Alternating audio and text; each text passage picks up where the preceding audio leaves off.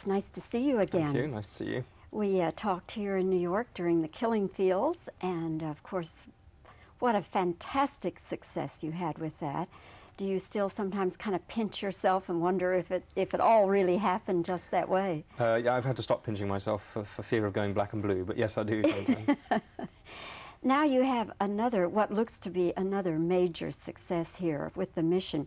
I'm wondering, was was this in some ways a more difficult film even than Killing Fields? oh, I think on every level it was going to be more difficult. It's more difficult to bring alive, uh, more difficult to reconstruct the past, and more difficult to reconstruct the past in a way that when people go and see the film, they forget. And if the film's working, and I, I think this is what's happening as I've watched it with audiences, it's as though people go in a space time machine, and suddenly there they are in the world. It's the 18th century, but it doesn't feel like it. It actually feels as though it's today, and and that was a difficult thing to achieve. As far as just the physicality of it, that was more difficult also? Yes, it was because in the killing fields, in the main, we were working near towns, um, and we could use towns, and we had all the resources.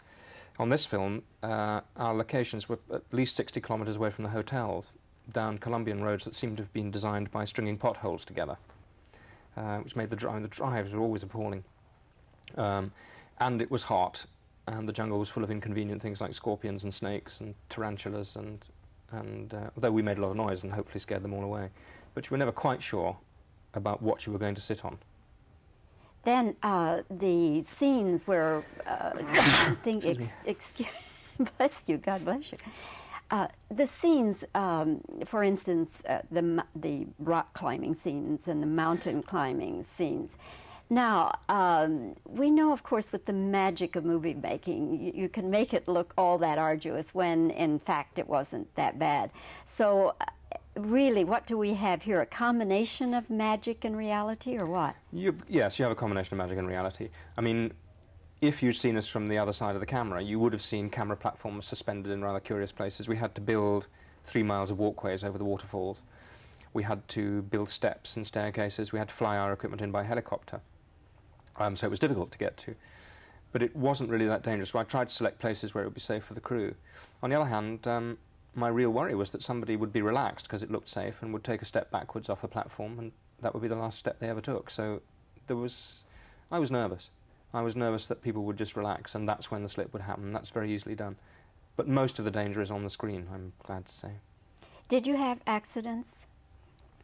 We pretty much didn't. I, th- I think I probably, I probably had the worst accident of anybody, and I come to think of it. I um, was was standing on a piece of rock watching something, and moved sort of to the left, and the piece of rock I was standing on broke off, and I actually slipped down and made a cut which went straight right into my knee, um, which was very deep. I, mean, I had to have stitches and things. I didn't actually notice. I just went on working until I discovered that this wet feeling on my leg was not sweat.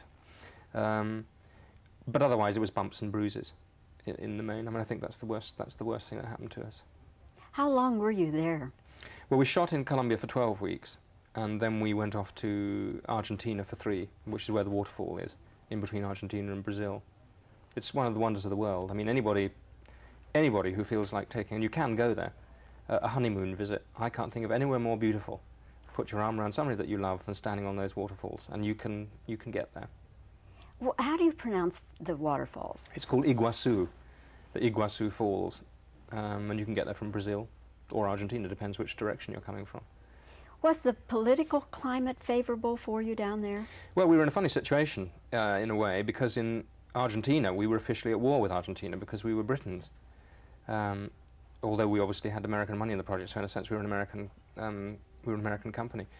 And I was watching the crew and the, the army who were working together uh, at one point. Thought this is magnificent. I mean, here are human beings working hand in hand virtually on a project that everybody is having huge fun.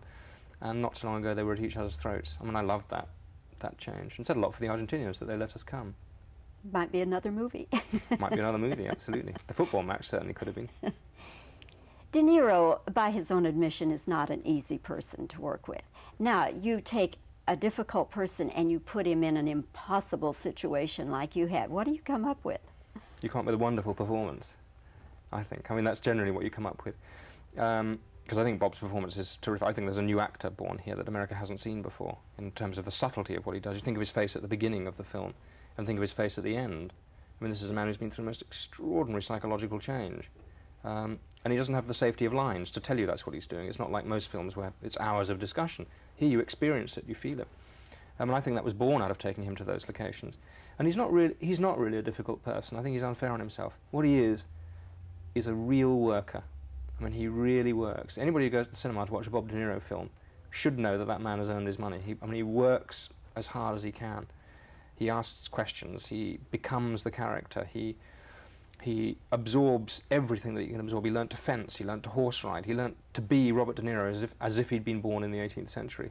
Um, I think that came out of the locations.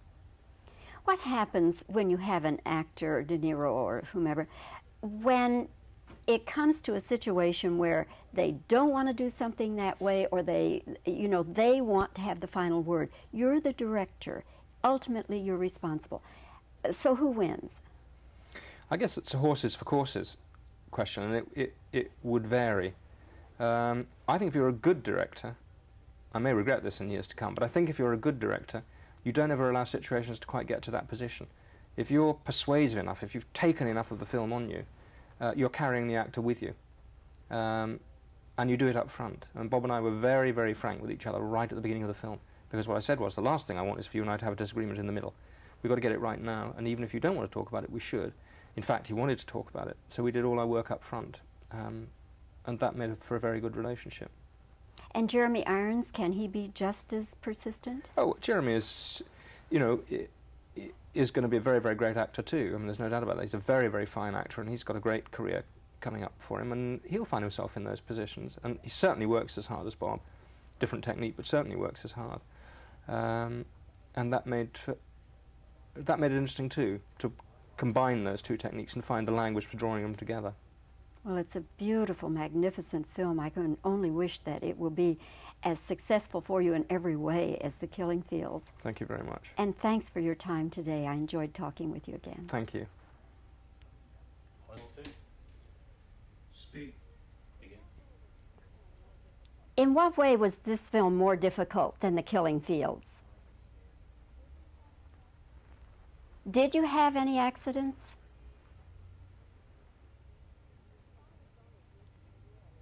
by his own admission, De Niro is not an easy actor to work with. Now, you take a person like that in, the, in this arduous situation you were in, and what do you come up with?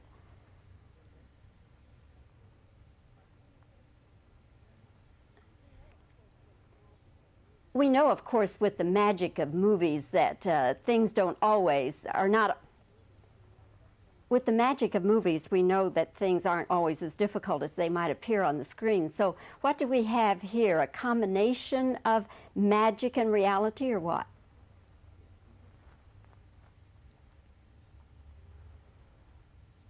And now I'll just give you reactions.